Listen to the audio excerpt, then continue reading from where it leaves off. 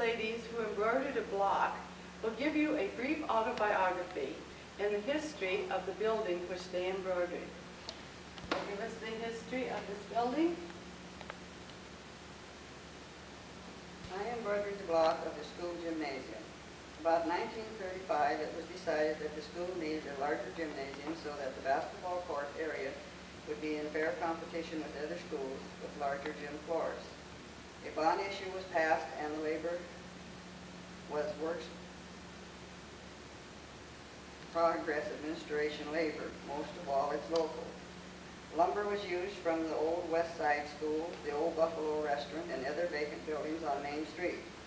The new gym was built just east of the schoolhouse and joined by an enclosed entry. It was gray stucco trimmed in white.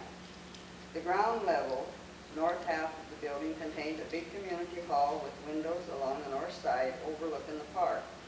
Beyond the east end of this hall was the school home ec room with the windows facing the east and the north. Suppers and banquets were held in this community hall, as were public meetings, and even some adult education classes were held here, such as a class in mattress making, because the mattress factories were involved in war work. Next to impossible to buy new mattresses during wartime. You could buy the ticking in cotton, padding for the nominal cost, and a supervisor taught you to make your own. A sharp right turn just inside the entry to the community hall took you to two flights of stairs down to the gym level. At the foot of the stairs, a sharp left turn took you to the public restrooms, and further down a hall led to the girls' locker room. The locker space was under the community hall. The gym floor was, had bleachers all along the south side reached by the main south entry. The bleachers were of concrete tiered into the side of the south wall and had wooden seats. An alcove along the center of the north wall between the stairway and the door to the boys' locker space on the east end held the scorer's bench.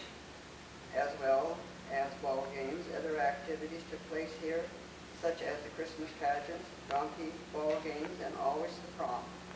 The backboards would be fouled up, and according to the class theme, the wire guards over the lights in the high ceilings were covered with colored paper and left plain. Wires were strung across the gym, and from these crepe paper streamers were hung all around the walls and woven across the wire to form a sky above about 10 feet high. Sometimes gold or silver stars were fastened on, and sometimes the lights shining through made it look like a star-filled sky. Chairs were placed all around the floor edge for the dancers. A combo was hired.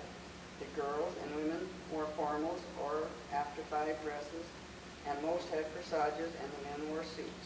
Most of the community turned out, the non-dancers or, or those who no longer cared to dance filled the lower bleacher seats.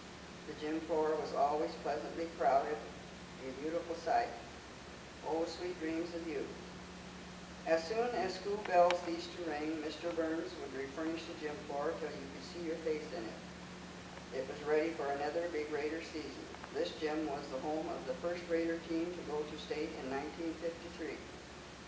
This gym was dozed in and lies buried underneath the new one and the great.